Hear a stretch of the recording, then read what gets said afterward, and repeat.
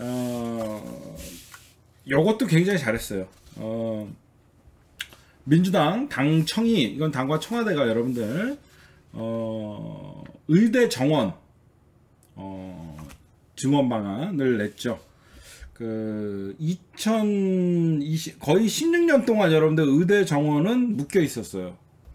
한마디로 의사들의 기득권 보호를 위해서 국민들의 의료 서비스는 전혀 개의치 않고 본인들의 기득권을 위해서 의대 정원을 제한했던 거죠.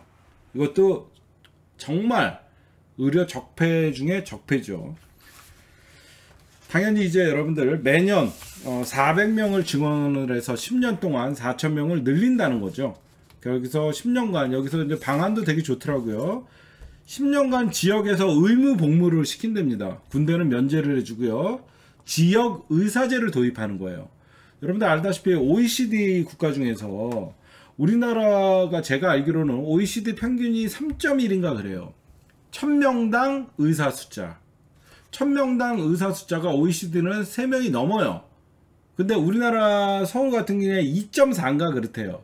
1000명당 수도권에는 2.4명의 의사를 보유하는데 지방은 1, 한 명도 되지 않습니다. 어? 좀 통계가 다 다르더라고요. 그래서 제가 보니까 어쩐 통계는 뭐 3.1로 어, OECD는 3.1로 나오고 우리나라 뭐 2.4로 나오는 데도 있는데 지방은 더 심각해요. 아직도 지방에서 무슨 일 있으면 큰 병원에 가야 된다 그러면서 서울로 이송하는 경우가 많아요. 그래서 저는 2022년부터 의과대학 입학자에 한해서 어, 지역 의사 선별, 선별 제도예요. 그래서 입학한 지역 의사의 어떤 입학한 학생들에게는 장학금을 주고 왜 그러면 의대 들어가면 여러분들 옛날에 돈 많이 든다는 소리 있었죠. 그래서 어, 의사 면허를 취득하면 그 지역과 그, 그 소재 대학 지역에 어떤 10년간 근무를 하게 하고 만약에 어길 시에는 의사 면허를 박탈하고 의무 복무 10년에 군 복무를 제외시켜주고 너무 좋아요. 그리고 이런 증원된 의사들은 대부분 어디로 역학조사 있죠. 우리가 이번에 코로나 바이러스를 19 어, 사태를 지금 겪고 있으면서 대구에서 코로나 확진자가 나올 때 어떤 걸 느꼈어요? 공공기관, 공공의료의 취약점이 적나라하게 드러났죠. 그렇죠? 공공의료의 취약점이 적나라하게 드러났습니다. 정말 이거는 우리나라가 2018년 기준에 1000명당 의사 숫자가 2.04명이에요. 근데도 아직도 이렇게 그 다음에 외과 여러분들 알다시피 그 이국정 교수님이 있는 중증 외과 부분이나 역학조사관 그쪽에 배치를 한대요. 그러면 새로운 대학을 설립해야 되냐? 아닙니다. 폐교된 대학교가 엄청 많습니다. 예를 들어서 서남대학교 같은 그렇죠? 폐교된 대학교를 그 지역에서 국공립 의대로 만들면 돼요. 너무 잘 됐죠.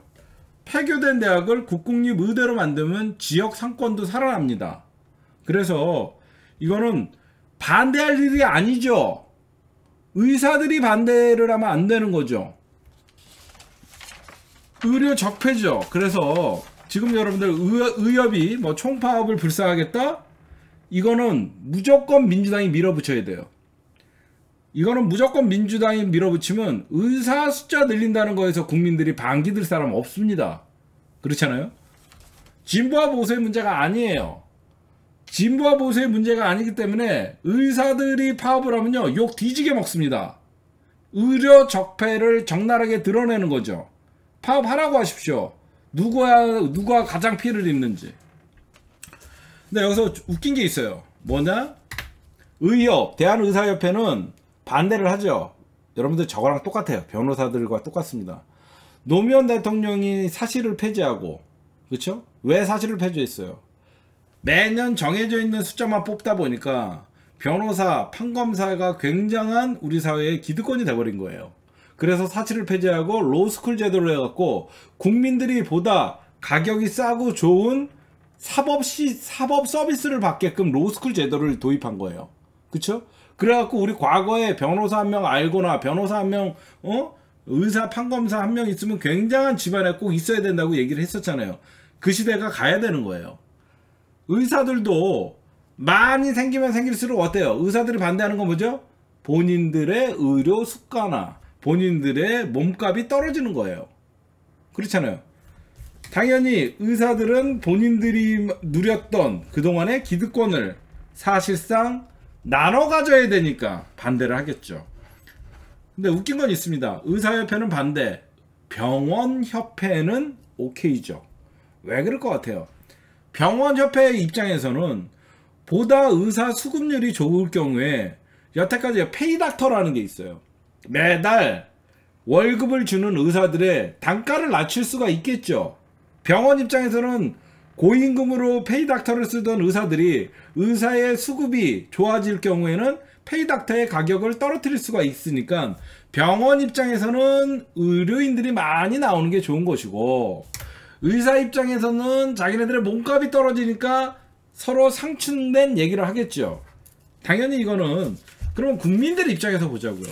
국민들 입장에서는 자기네들 밥그릇 싸움 할 게 아니라 언제 어디서든 좋은 의료 서비스를 받고 생명에 이상이 없는 의료 사고를 최대 최소화하면서 국민들이 언제든지 의료 서비스를 어, 받을 수 있는 진짜 선진국 국가잖아요. 그래야 되는데 아직도 우리나라는 OECD 국가에 비해서 1위 1000명당 의사 숫자가 턱없이 부족하죠.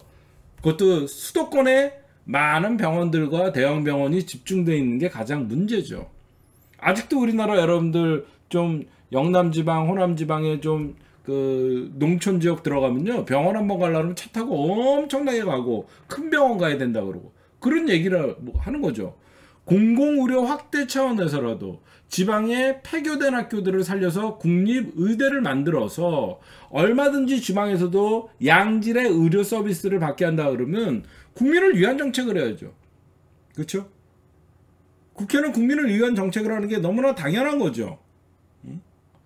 우리는 무조건 저는 의대 정수할 때 400명이 아니라 1000명까지 늘려야 된다고 생각해요.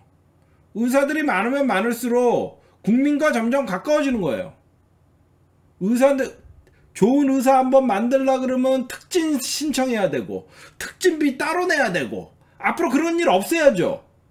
우리 과거에는 어땠어요? 어떤 변호사 한 명 섬이나 서, 선임하려 그러면 엄청난 부르는 게 갑이었잖아요. 요즘 어때요? 변호사들 남아 돌아갔고 변호사들이 국회 보좌관으로 들어오고 변호사들이 어디 회사 취직해갖고 법률팀에 있고 이렇게 돼야 되는 거예요. 특권을 누렸으면 이제는 국민을 위해서 봉사할 줄도 알아야죠. 어? 그렇잖아요. 변호사가 과거에 어땠어요? 부르는 게 갑이었어요. 변호 한 번 해주면 이름 부르는 사람들이. 지금 어떻습니까? 변호사 너무너무 이제는 국민과 어디 전화 한 통해도 서로 변호사들이 영업하는 시대를 만들어야 된다는 거예요. 그게 정상적으로 가는 거예요. 변호사도 직업의 하나예요. 근데 여태까지 변호사, 과거에 변호사들이 여러분들 영업하는 거 봤어요? 안 해요. 왜 안 해요? 영업 안 해도 변호사들이 딸리기 때문에 먹고 사는데 지장이 없으니까. 지금 어떻습니까? 변호사들 명함 돌리고 다녀요.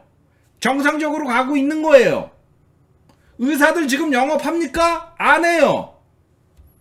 절대 안 하죠. 가만히 있어도 본인들 먹고 사는데 지장 없으니까. 의사들이 많아지고 공공기관 공공의료 서비스가 확충되고 국립의대가 생기고 지역에 공공 개인 병원들이 많이 생기면 의사들도 나눠먹기 해야 되는 거예요. 왜 독점합니까? 응? 여태까지 의사들 독점하고 있었어요. 본인들이. 안 되죠. 반드시 민주당 이런 어젠다 국민을 위한 정책 끝까지 밀어붙여라. 파업 누가 손해인지 해봐라. 과연 의대 정원 숫자를 늘린다고 발표한 민주당을 비판할 것이냐. 의대 숫자를 늘리는 거에 반대하는 대한의협을 비판할 것이냐. 그건 국민들이 판단할 거죠. 뻔한 거죠. 자기네 밥그릇을 챙기려고 또 다른 의사를 만들지 않겠다는 거예요. 잘못됐죠. 더욱더 여러분들 의사들이 늘어나야 되는 이유가 뭔지 아세요? 중요한 얘기 하나 해드릴게요. 의사는 지금보다 배로 늘어나야 됩니다. 왜? 우리나라가 고령화 사회로 가는 거예요. 지금 여러분 생각해 보세요. 나이가 점점 대한민국이라는 국가가 가장 그 위험한 경제 활동 인구가 줄어들고 고령화 사회로 드, 진입한다는 것은 그만큼 의료의 손이 필요한 곳이 많아지는 거죠. 고령화 사회가 점점점 늘어난다는 것은 손길이 의사의 손길이 더 필요한 곳이 많은데 당연히 그럼 어때요? 의사들도 늘어나야죠. 그럼에도 불구하고 응? 고령화 사회의 속도가 엄청나게 빠르게 진행되면 당연히 우리나라 의사 숫자들도 빨리 늘어나야죠. 이러면서 2065년 되면요. 전 세계에서 우리나라가 고령화 1등이에요. 2060 65세 비율이 여러분들 고령화라는 건요. 전체 국민의 65세 이상의 비율을 얘기하는 거예요. 65세를 고령화라고 얘기하는데 끔찍합니다. 2065년 65세가 국민들의 우리 대한민국 국민 중에 45%예요. 그렇죠? 대한민국 국민 중에 45%가 65% 45%가 65세 이상이 바로 2065년이에요. 물론 2065년까지 여러분들과 제가 살아있을지는 모르겠지만 2065년에는 국민들의 45%가 65세 이상이 되는 거예요. 엄청난 속도로 고령화가 지금 심각한 거예요. 그러면 뭐예요? 의사 숫자가 많아져야죠. 어? 의사 숫자가 많아져야죠. 이거는 우리나라뿐만 아니라 전 세계에 좀 비슷한 추이예요. 아무래도 의학이 발달하니까 100세 시대가 다가오고 그러다 보니까 65세 이전의 사망률이 떨어지니까 그런 것도 있어서 이거는 반드시 2065년 이후의 고령화 속도뿐만 아니라 현재 우리나라 의사 인, 천명당 인구도 너무너무 작고 미리 의사들 확충은 시급한 문제다. 굉장히 좋은 정책이다. 밀어붙여라. 네, 그런 얘기. 이 기회에 어, 최대집이라는 과거 박사모를 예, 추종하고 어, 일배를 연상케 했던 이런 최대집 어, 이 대한은 의사협회 회장이죠. 의료적폐 반드시 여러분들 물리쳐야 됩니다. 그래서 또 우리가 할 수 있는 방법 있죠. 의대 정원을 천명으로 늘려주세요. 대한병원협회에서는 1년에 1,500명 정도는 늘려야지 제대로 된 어, 의료 서비스를 받을 수 있다라고 얘기합니다. 400명이 아닌 1,500 병원 병원협회에서는 1,500명 늘려달라. 의사협회에서는 어, 400명 어, 절대 안 된다라고 하는데 예, 이런 것도 이런 거 청원해야 된다, 여러분들. 알겠죠? 네, 여러분들 또 뭐 도움이 되셨는지 모르겠어요. 의료적 폐 청산하자.